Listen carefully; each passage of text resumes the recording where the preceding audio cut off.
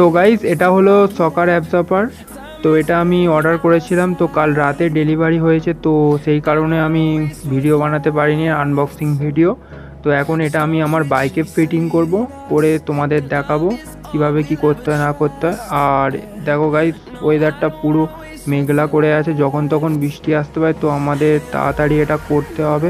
তো চলো ফিটিং করে দেখা হচ্ছে তোমাদের সাথে।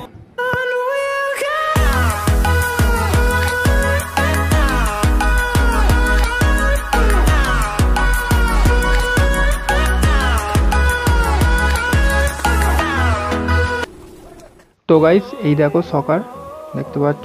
এটা পালসার ওয়ান এইটটি সকারে যেটা আমি ইনস্টল করেছি। তো এই দুটো সকার ভালোভাবে ক্লিন করা হয়ে গেছে। এবার এটা আমি এতে লাগাবো, দেখো গাইস এটা এরমভাবে ফিটিং হবে। তো আমি এক হাত দিয়ে ভিডিও বানাই আর এক হাত দিয়ে কাজ করি, তো এতে একটু অসুবিধা হয়, তার জন্য সরি গাইস তোমরা নিশ্চয়ই বুঝতে পারবে আমার ব্যাপারটা। তো এই বোল্টগুলো আমাকে দেয়নি, তো আমি এটা পারচেস করেছি মার্কেট থেকে নতুন বোল্ট যেটা আমি এতে লাগাবো ফিটিং করব। তো গাইস দেখতে পাচ্ছ? এই দেখো, এটা আমি ড্রিল করে নিয়ে এসেছি মার্কেট থেকে, কারণ এটা এতে ফিটিং হচ্ছিল না। তো এর হোলটা একটু ছোট ছিল, তো এতে একটু বড় হোল করলাম ড্রিল করে নিয়ে এলাম।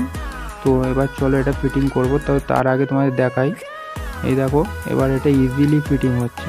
গাইস দেখতে পাচ্ছ? আগে এটা একদমই ফিটিং হচ্ছিল না। তো যারা যারা এটা কিনবে, তো একটু সাইজটা দেখে নেবে। ঠিক আছে, নাহলে ফিটিং করতে গেলে আবার একটু অসুবিধা হবে যেমন আমার মতো। তো চলো, এটা এবার ফিটিং করি, তারপর তোমাদের সাথে দেখ তো এবারে এটা আমি সকালে ফিটিং করে দিয়েছি। তো দেখতে পাচ্ছ গাইস কেমনভাবে ফিটিং হয়। আর সকারটা কতটা হাইট বেড়ে গেল। তো এবার এটা আমি বাইকে ইনস্টল করব। তো দেখা হচ্ছে ইনস্টলেশনের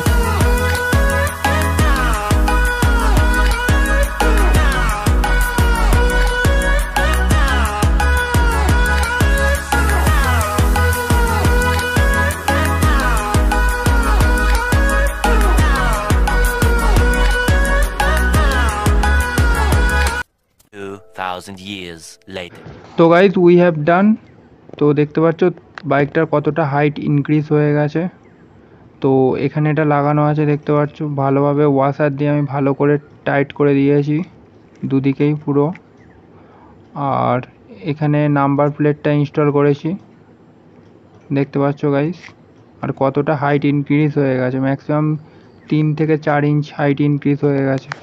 তো গাইজ ভিডিওটা এই পর্যন্তই। ভালো লাগলে লাইক করো শেয়ার করো সাবস্ক্রাইব করো।